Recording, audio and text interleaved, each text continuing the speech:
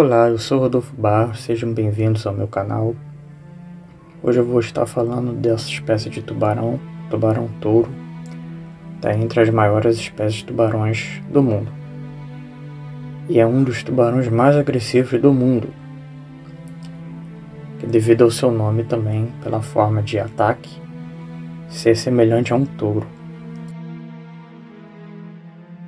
Esse tubarão tem uma característica de viver em água salgada e água doce. Ele consegue entrar em rios e lagos espalhados pelo mundo onde ele vive.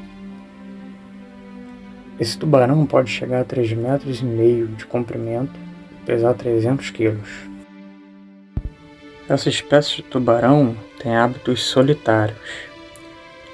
Sua dieta inclui peixes, outros tubarões, até mesmo aves.